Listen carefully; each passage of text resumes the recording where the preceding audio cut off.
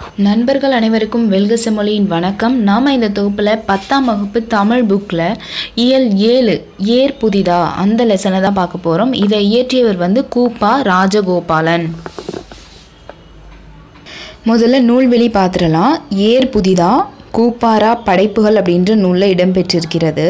அவர் ஆயிரத்தி தொள்ளாயிரத்தி ரெண்டில் பிறந்தார் கும்பகோணத்தில். இது எப்படி ஞாபகம் வச்சுக்கலாம்னா கும்பகர்ணன் தான் குப்பரை படுத்து தூங்குறாருன்னு வச்சுக்குவோம். கும்பகர்ணன் குப்பரை படுத்து எப்படி தூங்குவோம்? ரெண்டு கையும் நல்லா மேலே நீட்டிட்டு தானே தூங்குவோம். ரெண்டு கையையும் நீட்டிக்கிட்டு தூங்குறோம். அவர் மேலே வந்து ஏறி ஏறி எல்லாரும் விளாடுறாங்க. அது ஒரு புது அனுபவமாக இருக்குது அப்படின்னு வச்சுக்கோங்க. இப்போ ஏர் புதிதா? எல்லாரும் கும் கும்பகர்ணை குப்பரை தூங்குறாரு. ரெண்டு கையை நீட்டி தூங்குறாரு. அவர் மேலே ஏறி ஏறி எல்லாரும் விளாடுறாங்க. இப்போ ஏர் புதிதா? கூப்பாரா படைப்புகள்? ரெண்டு கைனா ஆயிரத்தி தொள்ளாயிரத்தி ரெண்டு. கும்பகர்ணன்னா கும்பகோணம். இது எல்லாமே வந்துருச்சா? இவர் ஒரு சிறந்த சிறுகதை ஆசிரியர் கவிஞர் நாடக ஆசிரியர் மறுமலர்ச்சி எழுத்தாளர் அப்படின்னு பன்முகம் கொண்டவர். இவர் எந்தெந்த இதழ்கள்ல எல்லாம் ஆசிரியராக பணியாற்றியிருக்கார் அப்படின்னு கேட்கலாம். தமிழ்நாடு பாரதமணி பாரத தேவி கிராம ஊழியன். இப்போ குப்பரப்படுத்து கும்பிடுவாங்க இல்லையா? சாமி கும்பிடும் போதும் அது வந்து தமிழ்நாட்டில் உள்ள ஒரு பண்பாடு. ஓகே அது கிராமத்தில் உள்ளவங்க கண்டிப்பாக அதை நல்லா ஃபாலோ பண்ணுவாங்க. கிராம ஊழியன். யாரை கும்பிடுவோன்னா தேவியை தான் கும்பிடுவோம். அப்போ நம்மளுக்கு வந்து மணி அடிப்பாங்க இல்லையா? இப்போ பாரத தேவி பாரத மணி கிராம ஊழியன் தமிழ்நாடு. இந்த இதழ்கள் எல்லாம் கூப்பாரா ஆசிரியராக பணிபுரிந்திருக்கிறார்.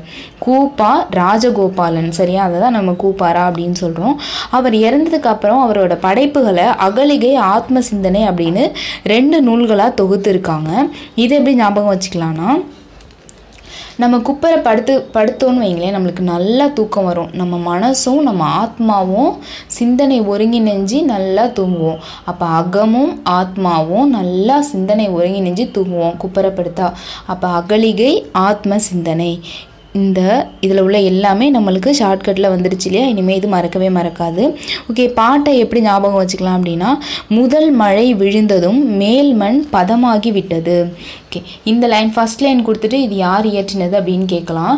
முதல்ல மழை வந்ததுமே என்ன பண்ணோம்? மாடிக்கு போய் உடனே குப்பரப்படுத்துட்டோம் ஓகேவா முதல்ல மழை வந்ததுமே மாடிக்கு போய் குப்பரப்படுத்துகிறோம் இப்போ குப்பரை அப்படின்னா கூப்பாரா முதல் மழை விழுந்ததும் மேல் மண் பதமாகி விட்டது வெள்ளி முளைத்திடுது விரைந்து போ நண்பா. காளைகளை ஓட்டி கடிகி செல் முன்பு. இந்த பாடல் அப்படியே ஒரு தடவை படிச்சு பாருங்க. கவலை இல்லை கிழக்கு வெழுக்குது. பொழுதேற பொன் பரவும் ஏரடியில் நல்ல வேளையில் நாட்டுவோம் கொழுவை. ஏர் பிடிச்சு ஓட்டணும் அதுதான் சொல்லியிருக்காங்க. வேளாண்மை செழிக்கவும் மானுடம் தலைக்கவும் சித்திரை திங்களில் நடத்தப்படும் பொன்னேர் பூட்டுதல் தமிழர் பண்பாட்டின் மகுடம்.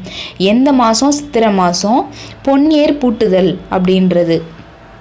இந்த லைனை நல்லா பார்த்துக்கோங்க. நாள்தான் புதிது நட்சத்திரம் புதிது ஊக்கம் புதிது உரம் புதிது. ஓகேவா புதிதா புதிதான்னு கேட்டு இதுதான் புதிது நாள் நட்சத்திரம் புதிது. அப்போ இந்த நாள் நல்லா இருக்கு ஏற பூட்டுங்க அப்படின்னு சொல்கிறாங்க இன்ட்ரோடக்ஷன் பாருங்க. சங்கத் தமிழரின் திணைவாழ்வு வேளாண்மையை அடிப்படையாக கொண்டது. உழுவோர் உலகத்தாருக்கு அச்சாணி என போற்றப்படுவோர் அவ்வளோதான் இந்த லெசனை நம்ம கம்ப்ளீட் பண்ணிட்டோம். இதில் உள்ள எல்லாமே நம்ம பார்த்துட்டோம். எப்படி ஞாபகம் வச்சுக்கிறது அப்படின்றதையும் பார்த்துட்டோம். இந்த லெசன் உங்களுக்கு பிடிச்சிருக்கோம் நான் நம்புகிறேன் பிடிச்சிருந்தா லைக் சப்ஸ்கிரைப் பண்ணிவிட்டு நம்மளோட இணைந்து படையுங்கள். தேங்க்யூ ஃப்ரெண்ட்ஸ் நெக்ஸ்ட் வீடியோவில் நம்ம மெய்கீர்த்தி அப்படின்ற லெசனை பார்க்கலாம்.